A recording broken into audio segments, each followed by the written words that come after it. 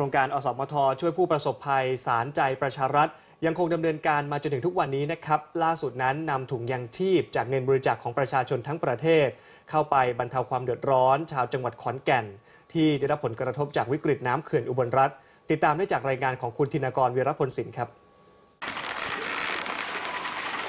บ้านท่ามะเดือตำบลท่าเกษมกว่า 200 ครัวเรือน เป็นหมู่บ้านที่ได้รับผลกระทบจากวิกฤตน้ำเขื่อนบนรัฐ หนักที่สุดในอำเภอน้ำพองจังหวัดขอนแก่น ใกล้ครบหนึ่งเดือนเต็ม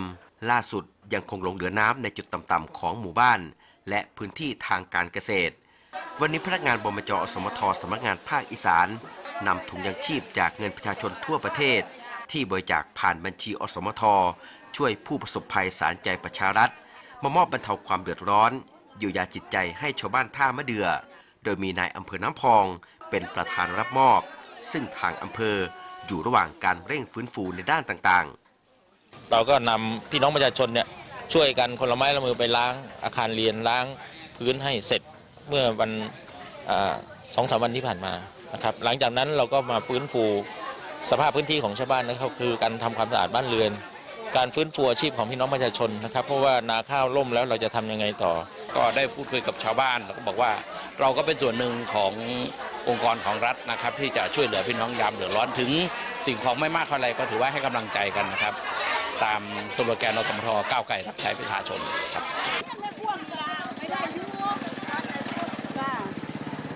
ถ้าบอกที่ด่าฉันมันก็บ่ตายจ้าน้ำที่ล้นตลิ่งลำน้ำพองได้ไหลทะลักเข้าท่วมนาข้าว ในอำเภอน้ำพองเสียหายเกือบ 40,000 ไร่ สวนฝรั่ง พืชเศรษฐกิจอื่น ๆ ได้รับผลกระทบกว่า 1,000 ไร่ หลายจุดน้ำทยอยลดใกล้เข้าสู่ภาวะปกติ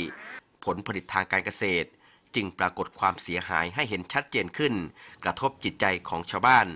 หลายคนยังจับต้นชนปลายไม่ถูกกับชีวิตหลังน้ำลด เพราะสูญเงินลงทุน และขาดรายได้จากการจำหน่ายผลผลิตหลายหมื่นบาทวิกฤตมากเพราะว่าหลังจากน้ำลดนี่เนาะจ้ะบ่ฮู้ว่าสิเฮ็ดหยังก็เลยอยู่ซื่อๆเขาก็เสียหายหลายอย่างอยู่จ้ะ การที่หน่วยงานต่างๆ แวะเวียนเข้ามาให้ความช่วยเหลือทำให้ชาวบ้านไม่รู้สึกโดดเดี่ยว และเป็นกำลังใจสำคัญในการฟันฝ่าวิกฤตน้ำท่วมในครั้งนี้ ขอขอบคุณหลายๆประชาชนทั่วไปเด้อค่ะ ฉันก็ขอขอบคุณทางทีวีช่องเก่าน้ำเด้อค่ะ มาเป็นตัวแทนมอบให้หมู บ้านท่ามาเดียหมูแปดค่ะ โครงการอสมทช่วยผู้ประสบภัยสารใจประชารัฐ ทยอยมอบถุงยางชีพให้ผู้ประสบภัยน้ำท่วม ในพื้นที่ภาคอีสานกว่า 15,000 ถุง และปลายสัปดาห์หน้า กรรมการผู้อำนวยการใหญ่บมจอสมท จะเดินทางไปมอบทุนการศึกษา อุปกรณ์คอมพิวเตอร์ ตลอดจนห้องสมุดที่ปรับปรุงใหม่ เพื่อเยียวยาความเสียหาย แก่โรงเรียนในพื้นที่จังหวัดสกลนครธนกรวิรพลศิลป์สำนักข่าวไทยอสมท รายงาน